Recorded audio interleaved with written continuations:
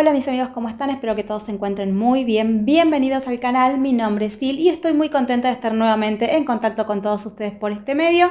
Así que desde ya muchísimas gracias por su tiempo y apoyo y les quería recordar que si aún no se suscribieron al canal, por favor lo hagan y activen la campanita de notificaciones, así están al tanto de cada nuevo video. Y ahora sí, sin más intro, comencemos con la historia del día de hoy. Brittany Drexler nació el 7 de octubre de 1981 en la ciudad de Rochester, en Nueva York. Sus padres, Dawn y John, eran adolescentes cuando tuvieron a su hija, pero asumieron la responsabilidad e hicieron lo posible por criar a Britney juntos. Sin embargo, al poco tiempo, la pareja comenzó a tener problemas y terminaron separándose. Dawn se quedó al cuidado de su hija en Rochester, mientras que John se mudó a Florida y dejó de formar parte de la vida de Britney por muchísimos años. No pasó mucho tiempo hasta que Dawn formara pareja y proporcionara una figura paterna a su pequeña. Se trataba de Chad Drexler, quien se desempeñaba como militar en ese momento y tiempo después la pareja contrajo matrimonio. Casi desde el principio, Chad amó a Britney como si fuera su propia hija, razón por la cual, luego del matrimonio, la adoptó legalmente. La pequeña padecía un problema llamado vitrio primario hiperplástico persistente en su ojo derecho, que es un trastorno oftalmológico poco frecuente, por lo que requirió varias intervenciones quirúrgicas, pero aún así perdió toda la visibilidad de ese ojo. Igualmente, más allá de esto, Brindy tenía una personalidad combativa, mantenía una actitud positiva ante la vida y nunca permitió que sus dificultades la detuvieran. Con el tiempo se fue convirtiendo en una adolescente divertida y sociable con una gran pasión por el fútbol, deporte en el que se destacaba.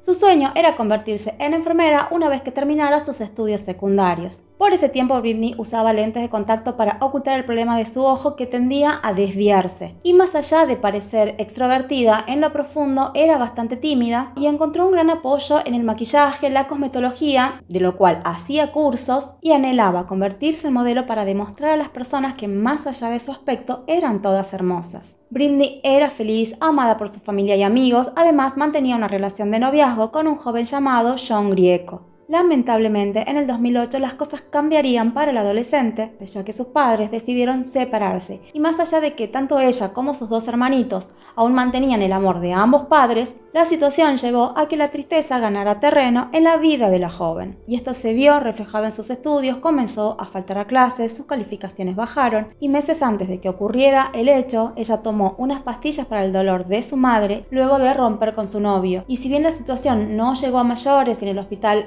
lograron estabilizarla, esto fue sin dudas un llamado de atención para sus padres. Luego de esto, ella comenzó a acudir a un consejero y se reconcilió con su novio. Este tipo de comportamiento problemático no era común en Britney, por lo que quedó muy claro que la separación de sus padres la había afectado demasiado. Y en medio de este torbellino de situaciones, John, el padre biológico de Britney, reaparece para recuperar el tiempo perdido, razón por la cual realizaba viajes frecuentes desde Florida hacia Rochester para encontrarse con ella y compartir actividades. Y esto ayudó en parte a mejorar el ánimo del adolescente. En la primavera del 2009 el calor comenzaba a sentirse y los jóvenes de Rochester se preparaban para sus tradicionales vacaciones de primavera en Myrtle Beach, una playa de Carolina del Sur que en esas épocas recibía una gran cantidad de adolescentes que iban en busca de sol, fiestas y todo tipo de diversiones sin la supervisión de los adultos. Muchos jóvenes de la ciudad asistirían y algunos de ellos invitaron a Britney. Aclaro aquí que estos eran simplemente conocidos, no amigos de la joven. Ella le preguntó a su madre si podía ir por tres días, pero a Dawn no le convenció la idea ya que no habría ningún adulto que lo supervisara y además, por alguna razón, tenía miedo que algo le sucediera a su hija. Obviamente esta negativa enojó a Britney, quien comenzó una discusión con su madre para luego irse a casa de su novio. La joven también intentó convencer a su padre Chad, pero este tampoco accedió y mucho menos luego de los comportamientos inusuales que Britney venía presentando desde meses antes y que le dejaban en claro que ella no se encontraba bien. Las cosas podían haber terminado ahí, pero lamentablemente Britney tenía otros planes le propuso a su madre que la dejara ir por unos días a la casa de una amiga que vivía en su misma ciudad para calmarse un poco y de paso disfrutar sus vacaciones. A Dawn la idea le pareció razonable porque estaba cerca de su casa y además contaría con la supervisión de un adulto, por lo que finalmente dio su consentimiento. Pero la idea de Brindy no era ir a la casa de ninguna amiga en Rochester, sino viajar hasta Myrtle Beach. Su novio estaba al tanto de esto, él no podía acompañarla por cuestiones laborales, no le parecía una mala idea, además que podría pasarle en tan solo tres días. El 22 de abril, Britney se despedía de su madre mientras subía al auto de su amiga, dueña de la casa a la que supuestamente ella iría. Luego, la joven se reunió con otros chicos, y sin que Dan lo supiera, emprendió un viaje de 14 horas a través de seis estados hasta Carolina del Sur. Los jóvenes llegaron sin ningún problema a su destino. Britney se hospedaría en el Hotel Bar Harbor, donde compartiría habitación con otras chicas conocidas de Rochester, mientras se mantenía en contacto permanente con su novio por medio de mensajes de texto. Si bien los nuevos amigos de la joven parecían ser agradables, no sintió lo mismo con las chicas. Igualmente, ese primer día lo pasaron en la playa con juegos de arena y por la noche asistieron a una disco.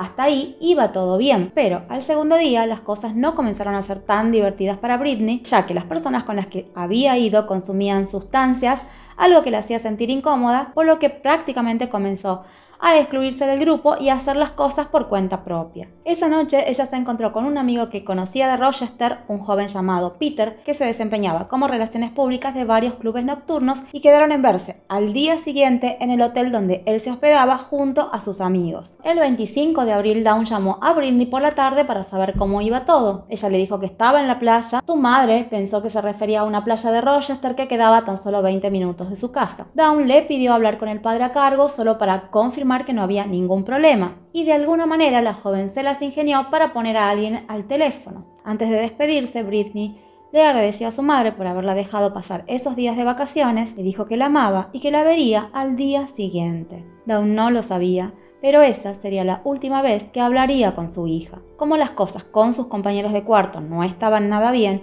ella decidió visitar a su amigo Peter en el hotel, pero antes tomó prestado un short de una de las chicas y salió de su hotel alrededor de las 8 pm, horario en el que comenzó a enviarle mensajes a su novio diciendo que iba en camino hacia el resort Blue Water donde se hospedaba Peter. Le dice también que ya no le está pasando bien con las personas con las que estaba y que ya deseaba que fuera el día siguiente para regresar a su casa. A los pocos minutos de llegar a Blue Water, donde estaba Peter, recibió un mensaje de texto de su compañera de cuarto pidiéndole que le devolviera su short porque quería usarlos esa noche. Y molesta, Britney le dijo a Peter que debía regresar a su hotel. La distancia entre el hotel de Peter y el de Britney era aproximadamente de 2 kilómetros por carretera. Cuando salió del lugar comenzó nuevamente a enviarse mensajes con su novio John, donde le dijo que iba de regreso a su hotel, que no podía esperar para regresar a su casa y que se sentía muy molesta con las personas con las que estaba. Por varios minutos continuaron mensajeándose normalmente, hasta que de manera abrupta Britney dejó de responder. Esto desde el minuto uno preocupó a John porque ella jamás hace eso, ya que siempre se despedía luego de una charla.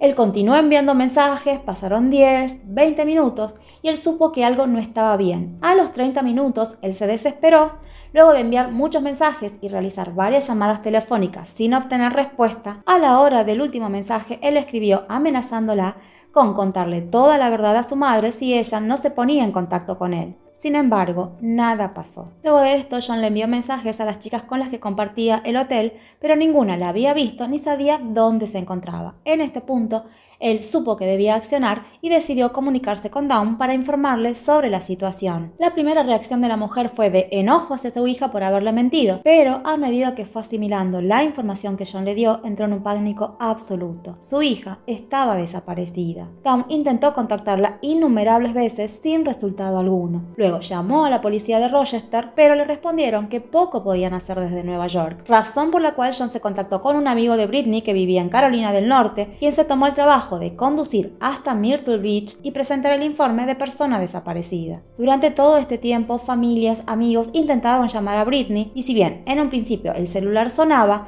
luego las llamadas entraban directamente al correo de voz. En las primeras horas del día siguiente, Dawn, John, otros familiares y dos amigos de Britney se dirigieron hacia Carolina del Sur para buscarla. Chad se había quedado al cuidado de los hermanitos menores de la joven, mientras que John, el padre biológico, volaría desde Florida hacia la playa. Las autoridades iniciaron una búsqueda intensiva de Britney por todo Myrtle Beach. Primero se centraron en la zona entre los hoteles, que fue su última ubicación conocida.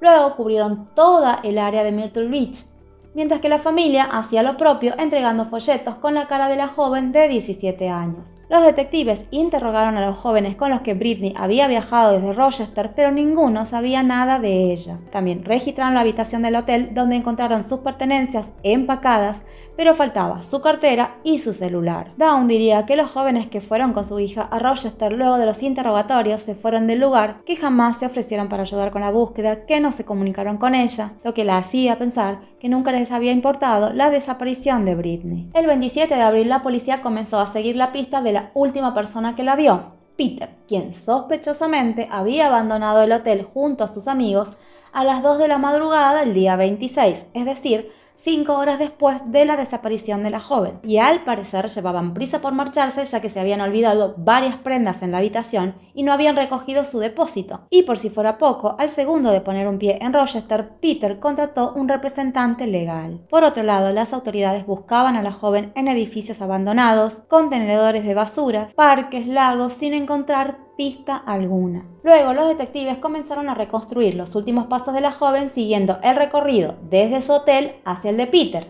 Una cámara de tráfico la captura caminando sola y usando su celular alrededor de las 8.15 pm. Luego se confirmaría que estaba llamando a Peter para que éste le enviara la ubicación del Blue Water.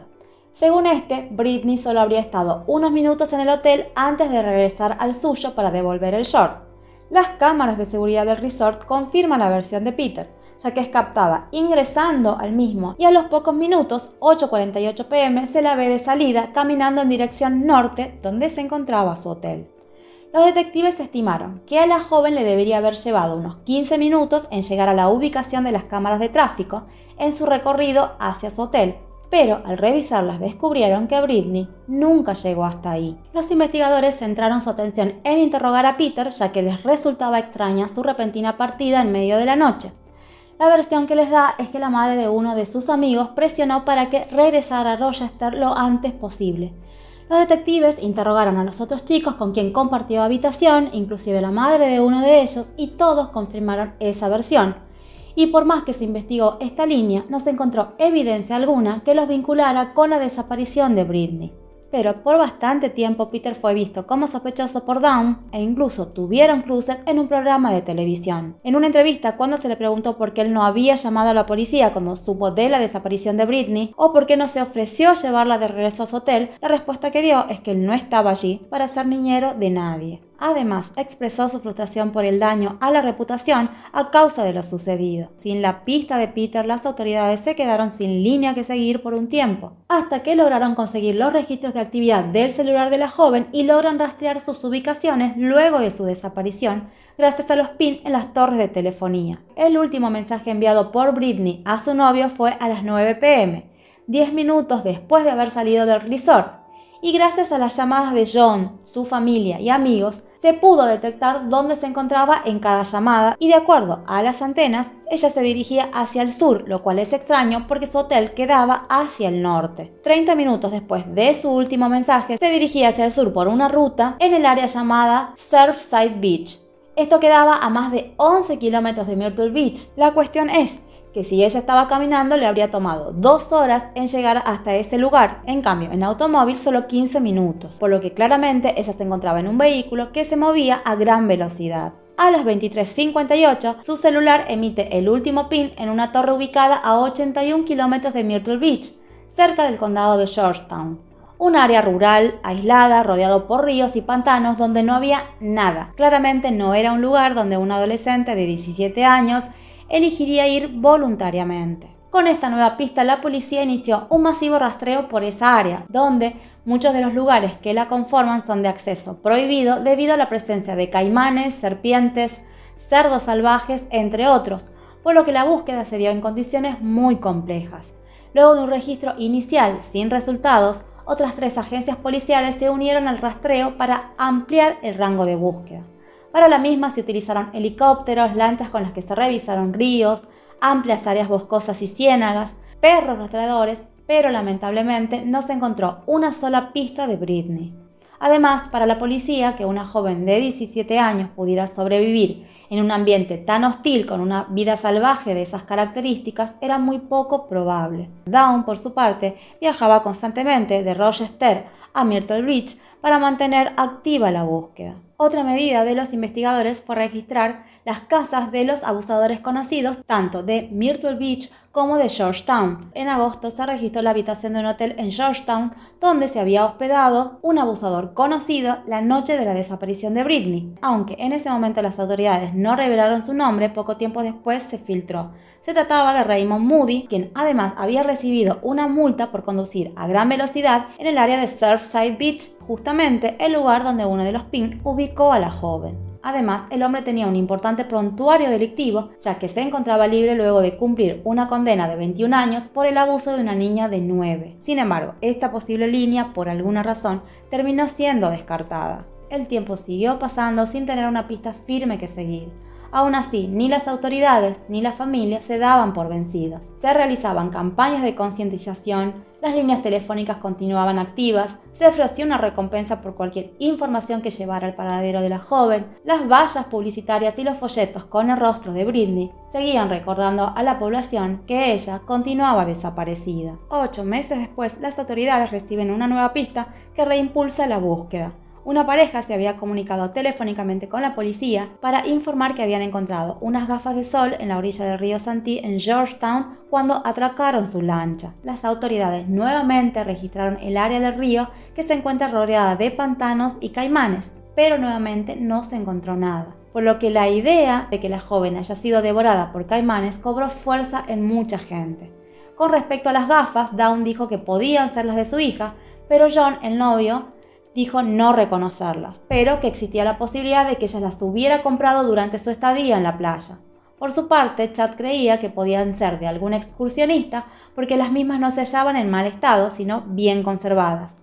Las gafas fueron analizadas en busca de ADN, pero no se halló nada. Y nuevamente la investigación terminó en un callejón sin salida. El 9 de abril de 2020, cerca del primer aniversario de la desaparición de Britney, las autoridades informaron que tenían tres o cuatro personas de interés y aunque no dieron más información que esa, pero sí dijeron que posiblemente ya no se trataba de un caso de una persona desaparecida, sino de una investigación por homicidio. Pero nunca se supo más al respecto y no se volvió a hablar del tema. Los meses y los años siguieron pasando sin novedad alguna, pero aún así la familia de Britney aún mantenía la esperanza de que ella se encontraba con vida y tras casi siete años de su desaparición, Dawn decidió mudarse definitivamente a Carolina del Sur para mantener activa la investigación y continuar con sus propias labores de búsqueda. En 2014 ella expuso su propia teoría de lo que podría haberle pasado a su hija a un periódico local. Ella creía que su hija había viajado engañada hacia la playa, que alguien le habría prometido un trabajo de modelo si ella iba, pero que en realidad había terminado siendo víctima de trata de personas, por lo que pensaba que su hija aún estaba con vida. Pero la policía no creía en esa posibilidad, ya que ese tipo de delito era prácticamente nulo en esa área. En 2016, el FBI junto a autoridades locales realizaron una conferencia de prensa en el área de Georgetown, en la que afirmaron que en base a sus investigaciones creían que Britney fue secuestrada en el área de Myrtle Beach y luego fue trasladada cerca de Georgetown, donde estuvo varios días para después quitarle la vida, por lo que ofrecieron una recompensa de 25 mil dólares por información que llevara a la resolución del caso, pero no dieron más información que esa. Dos meses después de esto, un diario sacaría a la luz una información y decía que los datos que tenía tanto el FBI como las autoridades locales fueron proporcionadas por un recluso llamado Taquan Brown a un agente del FBI quien señaló como responsable de la muerte de Britney a otro recluso que también cumplía condena de nombre Timothy Taylor. Le dijo que en 2009, poco después de la desaparición de la joven, fue a una casa que funcionaba como escondite propiedad de los Taylor en McClellanville para darle un dinero al padre de Taylor y dijo que vio a Timothy abusando de la joven junto con otros hombres que él luego se dirigió al patio para hablar con el padre del sujeto y que en un momento la adolescente salió corriendo de la casa en un intento de huir, pero fue recapturada y llevada nuevamente al interior de la vivienda, y que minutos después escuchó dos detonaciones y supuso que le habían quitado la vida, y que supuestamente luego vio cómo se llevaban el cuerpo para ser arrojado a una fosa con caimanes y así borrar toda evidencia. Esta información fue luego corroborada parcialmente por un informante anónimo. Según Brown, Taylor secuestró a Britney en Myrtle Beach y la llevó a McLellanville, donde la mostró a sus amigos y trató de venderlas con fines de trata pero como su desaparición cobró relevancia en los medios, decidió deshacerse de ella. Taylor se encontraba en ese momento esperando una audiencia por sentencia en un caso de robo por el que ya había sido condenado por un tribunal estatal. Pero se cree que a partir de su posible participación en la desaparición y muerte de Britney, el FBI intervino y recibió una nueva acusación, pero de carácter federal, por el mismo delito de robo por el que ya había sido condenado en Carolina del Sur. El defensor del sujeto sostuvo que esto se trataba de un apriete por el caso de Britney y que solo se basaba en la información de dos reclusos esperando obtener algún beneficio. En junio de 2017, como parte de una negociación de acuerdo con la fiscalía, Taylor aceptó someterse a una prueba de polígrafo y de acuerdo al FBI, algunas de sus respuestas fueron calificadas como engañosas, ya que cuando se le preguntó si vio a la joven luego de su desaparición o si sabía quién estaba involucrado, el examinador determinó que no decía la verdad. En 2019 la Corte Suprema falló en favor del cargo federal y este fue sentenciado a tiempo cumplido de 319 días en prisión por el caso de robo. Sin embargo, no hubo acusación alguna en relación a la desaparición de la joven. Tanto Down como Chad creían firmemente que Taylor estaba involucrado en el secuestro y muerte de Britney y que la joven había sido arrojada a un pantano con caimanes para borrar toda evidencia. Esta teoría, tanto de la familia como de gran parte de la comunidad, se hizo más fuerte cuando ese mismo año, 2019, la propiedad abandonada de la familia Taylor, donde supuestamente Brown vio a Britney, se quemó hasta los cimientos. Y lo extraño es que el lugar no contaba con electricidad, por lo que se cree que el fuego fue intencional. Ese año Brown brindó una entrevista telefónica desde la prisión, donde dio una nueva versión, o en realidad agregó cosas a la primera dijo que en realidad había visto a la joven en cuatro oportunidades luego de su desaparición. La primera vez el 27 de abril, donde estaba siendo abusada por 8 o 12 personas. El segundo encuentro fueron días más tarde, que fue la versión que dio al FBI, donde escuchó las dos detonaciones y que en ese momento no sabía de quién se trataba, y lo supo un mes más tarde al ver las noticias. Un tercer encuentro fue días más tarde y la última vez fue a fines de mayo y que supuestamente vio junto a un amigo cómo le quitaban la vida. Nunca se pudo dar con el supuesto amigo ni tampoco con el dueño de la propiedad donde en teoría se dio la muerte ya que había fallecido. Y si bien algunas evidencias podían respaldar esta historia, muchas otras cosas quedaban sin respuesta. Taylor, por su parte, negó cualquier participación en el hecho, dijo que nunca conoció a la joven y que lo único que sabía de ella era por los medios de comunicación. Además, presentó una coartada sólida para la noche de la desaparición. Lamentablemente, otra línea de investigación que no llevó a nada, solo a la pérdida de tiempo y recursos, aunque por mucho tiempo, la familia siguió señalando a Taylor como el responsable. El caso de Britney, tras 10 años, volvió a enfriarse. 10 años de una tortuosa incertidumbre para su familia. Finalmente, en mayo del 2002, la historia daría un giro crucial. Un nombre que ya había sonado en los inicios de la investigación volvió a presentarse y con más fuerza que nunca. Raymond Moody, de 63 años, un sujeto que había experimentado una crianza traumática desde niño, con una madre alcohólica y un padre violento, nunca tuvo la oportunidad de un hogar feliz y contenedor. En su edad adulta se había mudado a California para unirse al ejército. Dos décadas después era un hombre casado y padre de tres hijos. Pero fue en ese punto que la historia de Moody daría un giro siniestro y se volvería un sujeto conocido para las autoridades debido a múltiples delitos. En 1983 fue condenado por abusar e infligir graves lesiones corporales a una menor de 9 años. Por esta causa fue condenado a 40 años y 4 meses en la prisión de California. Sin embargo, solo cumplió la mitad de la condena, permaneciendo tras las rejas tan solo 21 años tras ser beneficiado con la libertad condicional en junio de 2004. Luego de eso regresó a Georgetown, donde en 2008 fue acusado de exhibicionismo en la ciudad, pero en tribunales el cargo se redujo a desorden del orden público. Y en 2009 fue acusado del delito de no registrarse como abusador en el condado y condenado en el 2010. Era claro que Moody entraba y salía de la prisión con la misma facilidad con la que respiraba. Por lo que, para el momento de la desaparición de Britney, él se encontraba en libertad y si recuerdan, en el principio él fue considerado una persona de interés cuando se investigaron a los abusadores registrados, además porque sus movimientos coincidían con las ubicaciones marcadas por el pin del celular de la joven, pero en ese momento no encontraron evidencia que lo vinculara al hecho. Sin embargo, la policía reanudó nuevamente la investigación de los abusadores registrados por el caso de Britney y obviamente llegaron a Moody, pero con la diferencia que esta vez los investigadores tenían fuertes sospechas sobre él. Luego de ser acusado por obstrucción de la justicia, fue detenido el 4 de mayo del 2022 e interrogado. En este punto, por alguna razón, Moody creyó que era cuestión de tiempo que los investigadores descubrieran su verdad por lo que durante el interrogatorio sacó a la luz su oscuro secreto. Moody confesó finalmente ser el autor de la muerte de Britney. Dijo que la vio caminando sola y la secuestró. Para su suerte, y desafortunadamente para la joven no hubo testigos ni cámaras de vigilancia que captaran ese momento. Luego la llevó a un lugar que no se reveló, donde abusó de ella y luego le quitó la vida. Y al día siguiente la enterró en un bosque cerca de su propiedad en Georgetown. Luego de la confesión, las autoridades se trasladaron al lugar indicado por Moody, donde el FBI excavó durante días hasta que finalmente el 11 de mayo del 2022 dieron con lo que quedaba de la joven de 17 años. Los forenses pudieron identificarla a través de sus registros dentales. Una vez confirmado esto, se dio la información al público a través de una conferencia de prensa donde el rostro del horrible ser que era Moody se hizo público. Luego de eso, varias de sus víctimas salieron a la luz para compartir sus experiencias. Una de ellas fue Carrie, quien tenía solo 9 años cuando fue agredida.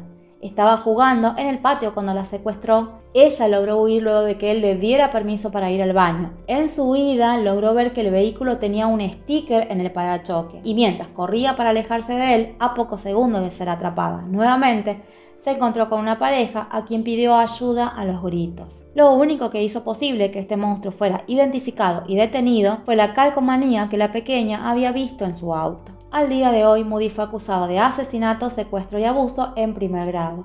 Los cargos que se le imputan son actualmente elegibles para la pena capital. Amigos, hasta aquí el caso del día de hoy. Finalmente, tras 13 años de agonía, la familia pudo finalmente saber lo que sucedió con Britney. Claramente, fuera de toda discusión, no fue el mejor final, pero creo también que la incertidumbre de tener a un ser amado desaparecido es una tortura diaria. Es despertarnos y preguntarnos si está bien, si nos necesita, si la están lastimando. Imagínense esos pensamientos por años y años y años. Figura como desaparecido no permite que la familia pueda elaborar un duelo. En cambio, hoy ellos, si bien no van a poder darle un cierre porque eso es imposible, ya no va a volver, pero al menos podrán elaborar o reelaborar un duelo que permita vivir o sobrevivir con esa verdad. Lamentablemente, nuevamente nos encontramos con un caso que pudo evitarse. El sujeto ya había arruinado la vida de una niña de 9 años y aún así solo le permitieron cumplir la mitad de la condena. Si él hubiese cumplido los 40 años que realmente le correspondían, hoy nosotros no estaríamos hablando de Britney. Y como siempre les pido, no se olviden de dejarme los comentarios, yo los voy a estar leyendo.